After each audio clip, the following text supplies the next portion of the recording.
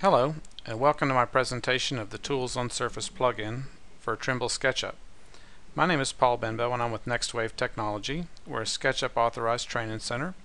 Please feel free to reach out to us, info at nextwavetech.com, or you can visit our website, www.nextwavetech.com, or you can call us at 919-459-2333. So let's just jump right in. So the last presentation we had, or the sister presentation of this one, we actually looked at the Google toolbar and how that was integrated with SketchUp version 8. And in the Google toolbar we had the add location and we simply clicked on that and we entered in the street address which is in Raleigh, North Carolina, house I grew up in. And uh, our front yard kind of went down the hill and our backyard kind of went back this way as well. So the high point of the house was this front corner we did select region. We moved the push pins around to you know, select the desired amount of property. And we did that. It basically dropped the house into SketchUp. So if we look at our layers and we look at the second item on the toolbar as the toggle terrain and we notice it's basically switching those layers. So the first one is the snapshot layer where everything is basically perfectly flat and we're living in flatland. Uh, this house, we went ahead and adjusted this house and basically made the terrain fit the contour of the property. So you can see that the surface we have now that came in with Google Earth actually does follow. Like I said, the front yard fell off this way and then it fell off even farther in the backyard. So I'll just push this aside. So some handy information that Google gives us that you know it's nice it does this. I can take my pencil and grab the finished floor elevation here and simply click here and bring it out the front on the green axis and then across the red axis and then down the blue axis. And that little piece of a line it created I can simply do an inquiry on that and it will say whoops on this one. And it will say that's three feet you know four and a half inches. And that's probably about right because when I was a kid when I stood here you know I could kind of see the you know the front porch you know level. So it's kind of nice that this you know comes you know with Google Earth. Um, Another small thing you could do is take the tape measure and say, well, how far from this neighbor's house is it to this house? You know, it's about 50 feet, and that would be about right. So there's a lot of good information that, you know, Google is giving us for free. You know, the the, the topology may not be perfect, um, but by the same token, you know, it, it, it was free. Um, and then the last thing we did in our presentation is we took and the model and went up to preview in Google Earth, and we actually looked at Google Earth and did a spin and basically viewed what it would be like to have this in Google Earth. So what I'd like to talk about now is how we could take this model and work with this image. Now the image has a lot of trees on it, so maybe what would be desirable would be to not have as many trees and actually draw on top of this surface. So if I click on the surface, you notice the red boundary box appears letting me know it's locked. So I simply right click to unlock that group. And then I can simply double click to enter that group. And now you can see I can select the surface. If I toggle my hidden geometry on and off, you can see the tin or the triangular network that makes that surface possible. And you can see that you know it falls off pretty fast in the backyard and that we do actually have a you know surface.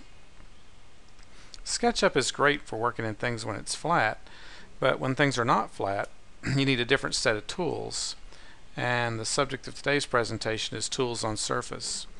Tools on Surface is a great plugin. Um, Fredo6 created this. Um, so if you basically Google search Tools on Surface or Google search, you know, Ruby Depot, something like that, you can actually find this plugin um, on the internet.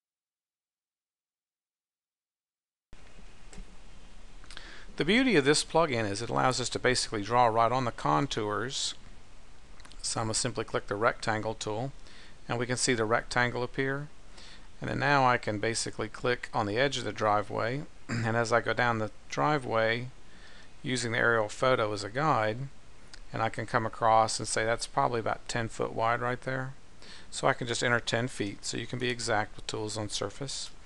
And you can see that what's happened is actually split that surface into two surfaces. So the the line that I just drew actually follows the contour so to take this a little farther, what I could do is rotate around to the side of my property.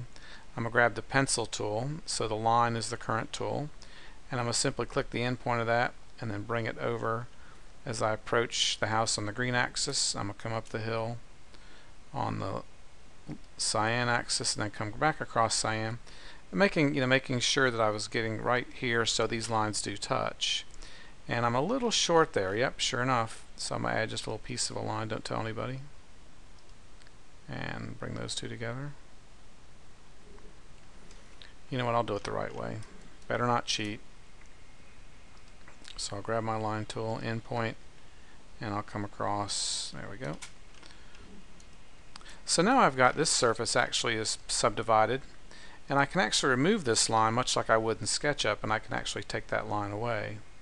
And see now I've got my driveway and what I might want to do to kind of just you know finish this example off is grab my arc tool and simply you know there's a little arc here that comes around where the sidewalk is and then I can grab my line tool and kind of follow along this sidewalk as it came into the house and I'm just going to kind of rough this in.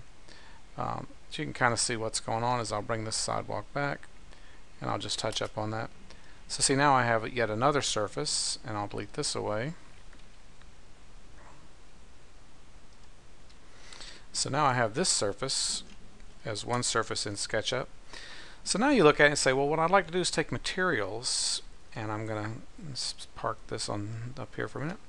So I'm going to grab my asphalt and concrete pick this one and drop it in and see now I can basically paint so if you want to do like you know anything that you want to write on a surface maybe you want to show where a drainage ditch is going to go maybe you want to show where a flower bed is going to be um, you know really the applications are unlimited so another tool that was written by the same gentleman Fredo6 is joint push pull because what I might want to do is basically take this surface I just created and actually give it a thickness.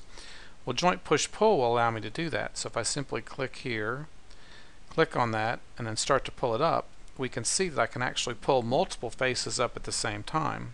I can give it a number like 4 for 4 inches, and when I right click I can say done, and it basically will build that surface that's multiple things push-pulled because the standard SketchUp push-pull tool will only push one thing whereas the joint push-pull pulled all those surfaces up and actually gave me a thickness to my concrete. Excellent set of tools.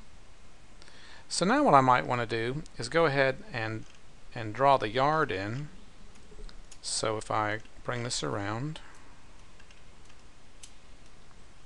and just take my rectangle tool once again and I'm just going to kind of go up close to the curb here and come across and follow right down the edge of pavement and then go down the backyard because maybe my goal is to not have what I don't need anymore and I can see it's made this one surface so I'll take my materials vegetation grass and then what I might want to do is simply take this surface and just delete it because my goal is just to simply have you know, a property. And, you know, my house looks pretty plain. You know, I could add windows and brick, and I could put a door in, and I could embellish this. But just to make something pretty fast that shows a point of what's possible to do with tools on Surface and the Google Toolbar, this is a pretty good example. It was pretty quick, and I didn't have to do a lot of work to get that surface to appear. I hope you enjoyed my presentation on tools on Surface. Once again, this is Paul Benbow with NextWave Technology. We're an authorized training center and SketchUp consulting company.